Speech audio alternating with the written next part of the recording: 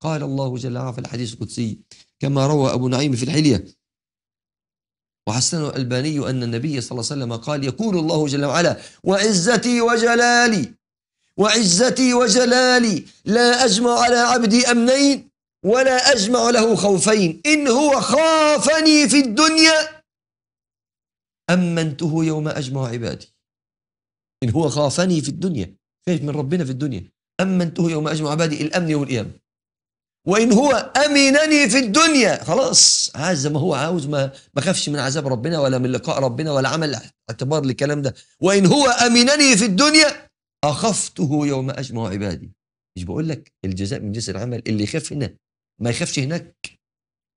واللي يطمن هنا ما يطمنش هناك. واللي يفرح قوي هنا ما يفرحش هناك. هو ده.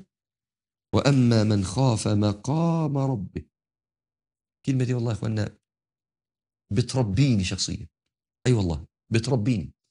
لما بحس إن الدنيا بدأت تزداد والفتنة وال...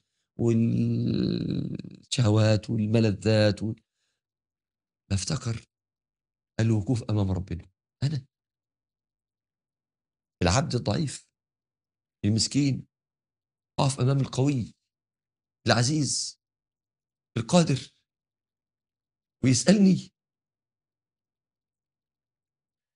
أنا مكسوف منك يا رب. والله. أستحي أن أقف بين يديك بذنوبي. بلاش مخرج.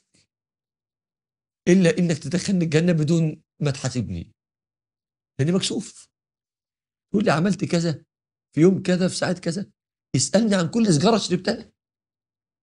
اسألني عن كل نظ- نظرة بصيت لها. اسألني عن كل كلمة قلتها. أنا مكسوف منك يا رب. دخلني الجنة بدون ما تسألني يا رب. بغير حساب.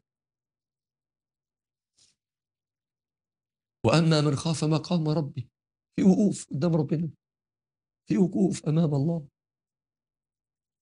يوم يقوم الروح والملائكة صفا لا يتكلمون إلا من أذن له الرحمن وقال صواب الملائكة تقف. أمال أنت هتقول إيه؟